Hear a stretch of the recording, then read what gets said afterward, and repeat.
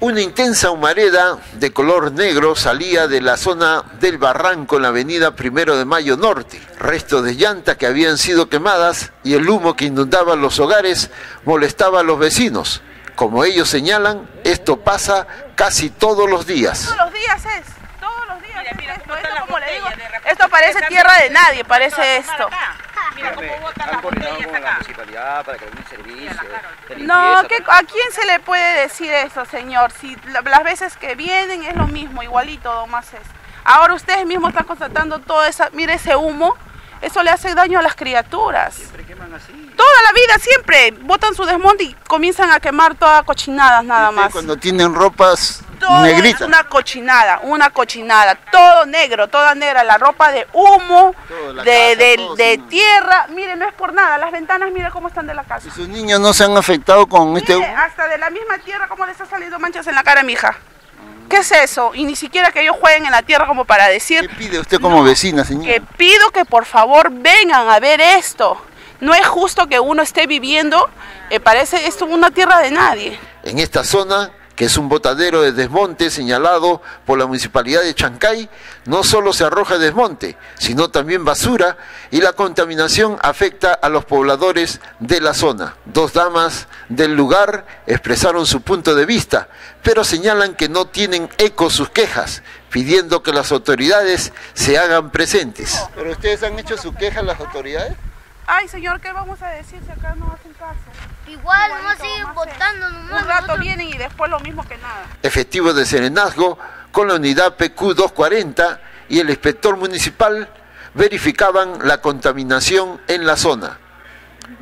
Carlos Risco, inspector municipal, señaló que emitirán su informe a su jefe inmediato, quienes deberán tomar acciones para evitar esta contaminación que se observa en la avenida Primero de Mayo Norte. Basura, botan llanta, botan de todo. Lo que aprovechan. Claro, no, eh, ellos votan, ellos votan. Hay gente que aprovecha esto y, y bota su, su basura, su desmonte, eh, llantas, llámese esas cosas. Lo que pasa es que los elementos o los amigos, este, ¿cómo le puedo decir? Esos enfermos que fuman, los- ¿no? Ellos vienen a, a reciclar. Si llevan lo que ellos puedan sacar provecho y, después prenden candela. En este caso la llanta. La, la prendió candela, lo queman y el alambre que queda viene más tarde y se lo llevan. Por eso que oc- ocurren estas cosas. Desgraciadamente eh, no, no, no hemos identificado a nadie. Los vecinos ven, saben, pero no hay, sie- siempre hay temor. a- Pero Carlos, tú darás tu informe al ente respectivo de la municipalidad para que tome acción, porque como te he dicho, vemos desmonte, pero también vemos basura ¿no? en todo este sector, restos de botella, parece que personas que vienen a tomar cerveza a este lugar. Sí, sí, veo, veo botellas de cerveza, veo... Eso, eso debe ser que vienen en las noches a, a beber licor. Lo que pasa es que los vecinos sienten, sienten temor de poder identificar por a, a las represalias. Y eso ocurre aquí, en este lugar y en todo Chancay.